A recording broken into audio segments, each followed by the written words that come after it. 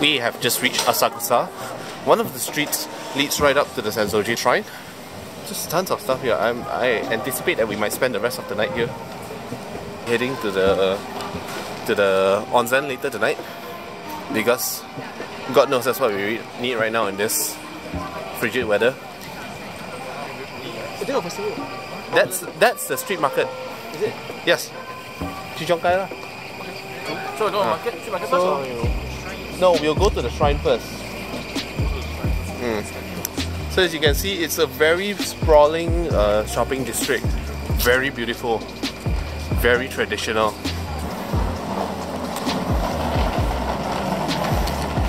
So there are definitely uh, rent a kimono, rent a yukata kind of uh, uh, facilities. So the, there are these quiet streets there's a very rustic looking playground here. And this is what we really came to see. It's a little house. It's a, a traditional Japanese house. And we're headed straight, straight, straight towards the shrine. But on the way, you can't miss this out. It's very, very nice. looks amazing. You can probably buy a yukata here. That is it. That is the shrine. You can't see it right now, not too clearly, but that is the shrine. Right there. It's huge. It's crowded. Really, really beautiful. There it is. I think this is the entrance to the shrine, and the shrine is uh, further back down there. And it's colorful and it's very well maintained. It looks new. Looks like it's always been this way. We have just uh, gone up to the shrine and uh, visited the interior. It's a very ceremonial experience. Uh, so, right around the front here, so there are charm of variety for a variety of things: good fortune, money, uh, happy family, wealth, relationships, uh, exams. Yeah, it's all very cute. And then we go up to the main temple, and there is uh, it's a that's a basic Japanese tradition of uh, of uh, pray, prayer, which I'm not too familiar with. I didn't do it. And uh, to the side of the to the side of the shrine, we have a garden. Side of the main temple. And we're just gonna take a look. There's a lot of tourists here, especially. I believe Asakusa would be one of the more touristy locations. And I'm gonna take a look down into the deeper garden. It's the evening already, and we're in Asakusa. And we're having our dinner now. Steamed hot pot sukiyaki, pork shabu shabu, and a rice uh, bento. We are in this place called the, the Asakusa Bunka Hostel. Hostel. We just came back from an onsen, which was a damn relaxing experience. We built up a huge appetite for it, and yeah, we definitely got enough uh, appetite for this meal now. So the food, uh, I've tasted the shabu shabu is pretty good. The soup is nice. I can't complain about the sukiyaki yet because I haven't even tried it yet. This is an international hostel, so they definitely have people speaking, uh, able to speak English, and that's nice. I really uh, like to practice my Japanese a little, but there's a lot of miscommunication because my Japanese sucks, right?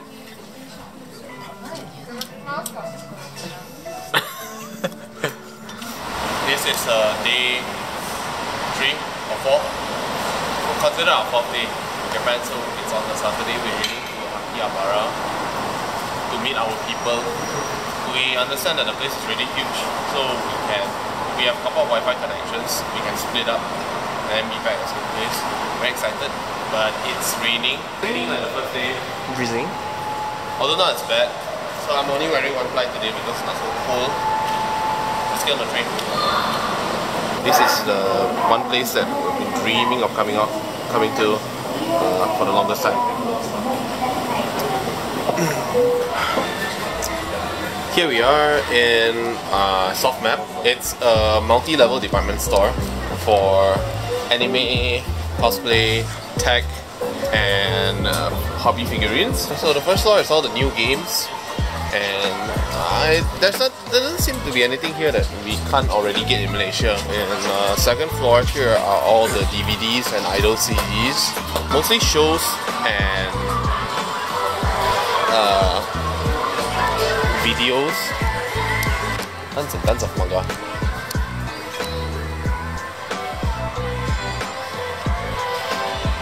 What you have to do is you have to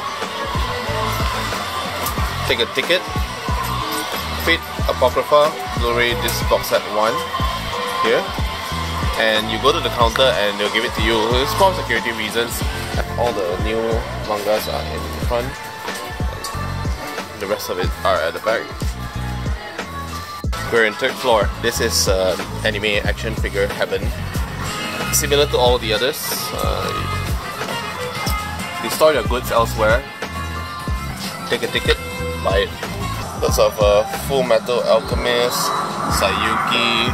These are the Kotobukiya uh, figurines. Wolf Children.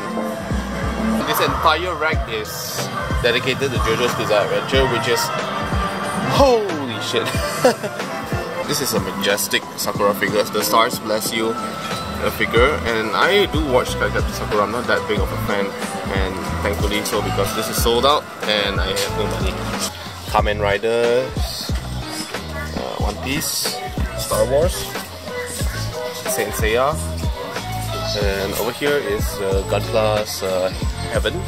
We have uh, perfect grades of every type, and we have model kits of every type, the accessories, trading cards, card sleeves, the hobby paints uh, for Gunpla for Gunplas and as well as hobby tools for Gunplas and plastic models in general.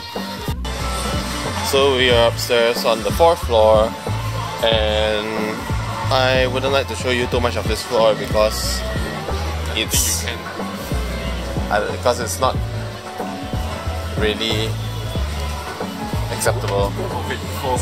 So we are on the fifth floor and this is the floor that most of us have been anticipating.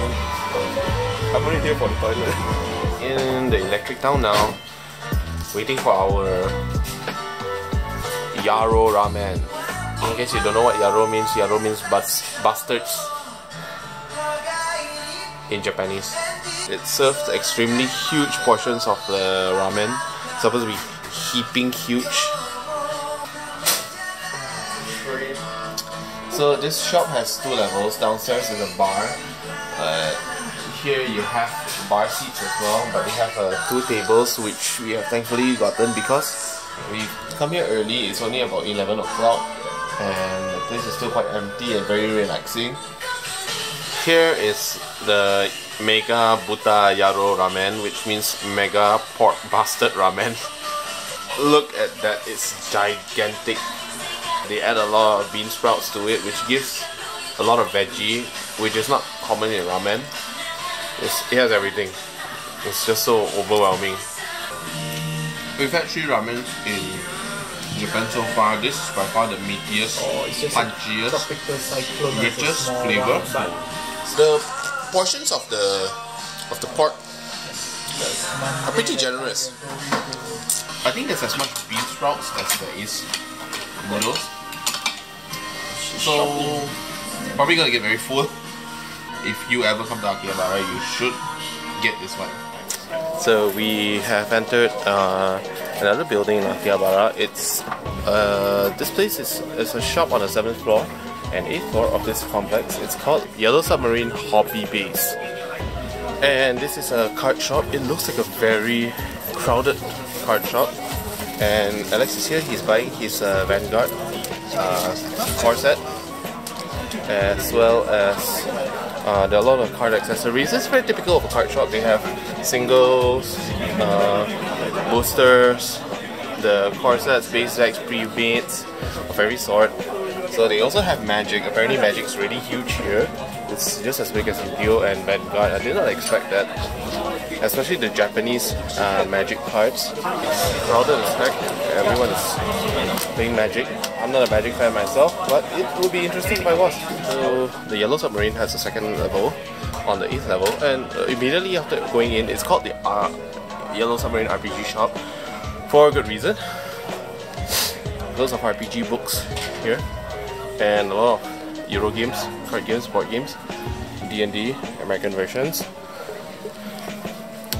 miniatures of all kinds. They have Warhammer here as well, and uh, the Warhammer here is also in English. I don't think they have Japanese versions. I see something that I want, which is exactly this. Android Netrunner, the Japanese version. It's very lively here. It's a very nice environment. They have board games select here. And loose dice. They're pretty pricey for each one though. Not sure if I'm interested in getting any. There are a ton of uh, game accessories here.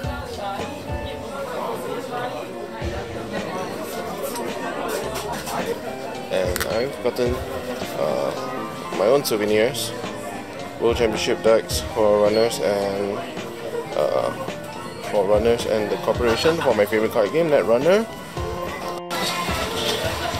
We've left the Yellow Submarine and we've just gone next door to the Akiba Cultural Theatre. It's a shop uh, with well, more of the same, tons and tons of figurines. Uh, but as you can see here, there are some American figurines uh, that the other shops didn't have. Yeah, these are uh, more complete and this is a much busier shop.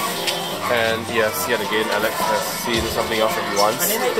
at Cut Kingdom in Akihabara and uh, because I drew a very good fortune yesterday at the Sensoji Shrine so I believe that it will bless us today here at Cut Kingdom. He has bought 10 of these and I'm going to bless them before my luck. So we bless this Holy Father or whatever, Holy Father of Vanguard, God of Dragons. Useless. Useless. I've seen all these cards before. Useless. Also seen this one before. Like common cards are it's Also cute. seen this one before. What do you make of this card? Useless. Useless. Yes, useless. Totally useless. Let's go. Last one. Slightly useful. yes! I, I don't know what that means. Triple R. Highest rarity of all. I see. So you can see the rarity of the cards on the bottom. So triple R means apparently means great. Great. Yeah, I drew one triple R. Nice. So okay, I'm gonna set this aside, and this is gonna be a slightly long video. Second one, Bless them. God of Dragons, God of Order and Chaos, H- Hentai Yaro. Apparently this is rubbish because it's R. Oh, this is good. This is a this is alright. It's a double R. Double R is good. Yes. You're doing well, Richard. Move on. So, uh, sorry about today. Today we were at Akihabara, and because of the rain, I wasn't. It wasn't easy for me to bring out my camera too often. But uh, we made it through most of the day. The good news is that we're probably going to head back to Akihabara because there's way too many things that that's there to see. So on our way back to our house, uh, Alex is here with me. We we got lost. Even though we've been walking home the same way. Yeah. Okay, we are exploring. Now we discovered this uh, taco bar and we decided to get some takoyaki to try. Uh, last uh, yesterday, Alex, uh, Daniel, and uh, Pingwan tried some takoyaki in uh, Sensoji Shrine and it was really disappointing. We're going to try some now. It looks awesome because uh, the chef allowed us to film. Hey, arigato! 22nd of October. Only Mess and me are here. And uh, my initial plan was to go to a bar, a jazz bar downstairs here in Shibuya called The Room to watch a performance uh, by uh, an artist I've been following for a very long time. Fortunately, due to the typhoon, they've decided to cancel the performance. So we are a little bummed right now. But on the plus side, we have found a nice sushi bar. It's just a quiet bar. Our sushi has arrived, but we're gonna dig into it and we'll let you know how it is later. Bye. So we just came to Starbucks, just sitting, chilling, whiling a bit of time from the second floor of the Starbucks in central Shibuya. And here's the crossing we've seen so many times in all the movies. Uh, Shibuya crossing. And it's a very cliche view as well because everyone has their umbrellas out, it's rainy. It feels literally like the Resident Evil movie. What? Yeah, in Resident Evil, one of the Resident Evil movies, there there was a there was a girl crossing the street in Shibuya. She got bitten by a zombie, and then there was a huge outbreak here, and then things started going to shit. So don't ask me how I know so much about Resident Evil movies. I don't even know I watch them. How would you rate this night? How many shits out of shits? Tomorrow is our trip out of Tokyo and I think if the rain keeps up like this we might have to miss it. We'll have to find other ways to entertain ourselves. Uh, we'll probably opt for some indoor entertainment tomorrow. Morning, this is uh, Monday, the second week of our trip and we're supposed to go to Okutama slash Ome today to see the countryside but the train lines going out of Tokyo into the countryside have all been disrupted. So now we just decided to go out to uh, have breakfast. Because all the train lines today are compromised especially the Ome line which is completely stopped. So our host was gracious enough for us to uh, check in a day later. We'll spend today catching up on the sites that we missed uh, due to this horrible weather conditions. Because the weather today in Tokyo is lovely. Sunny. It's the first time I've seen sun in a week here. So we started a Monday off in Hoshino called Hand Drip Coffee in Shibuya. And this is uh, what is this? Cafe latte.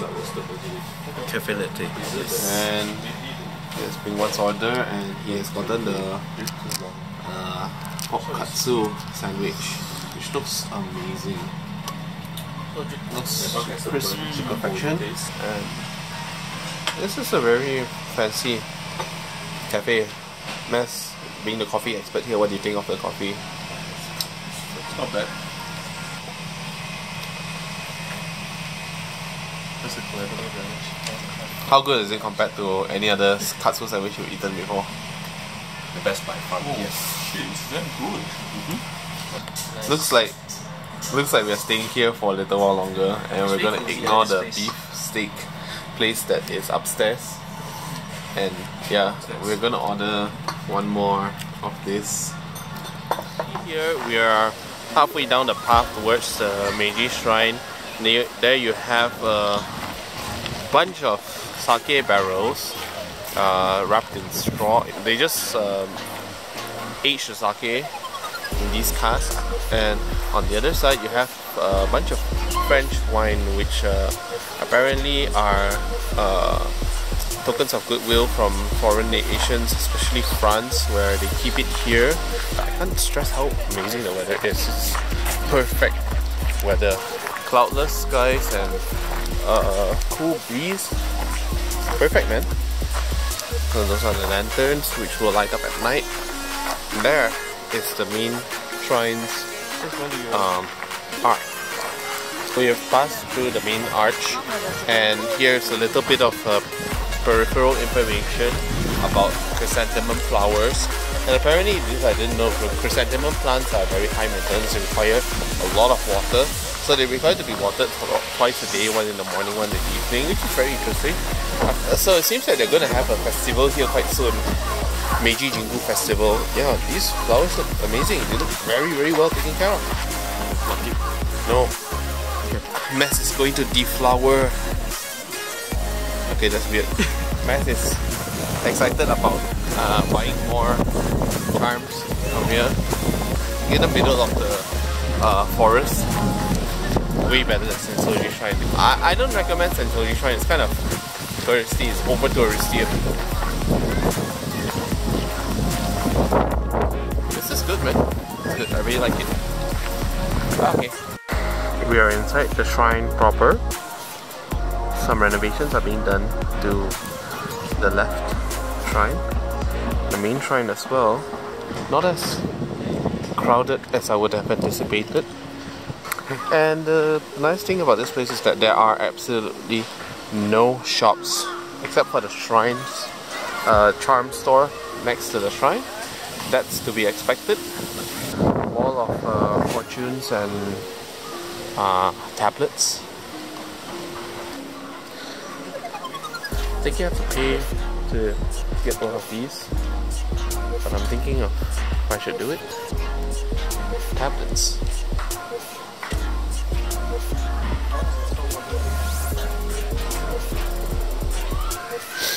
Nice, very quiet place.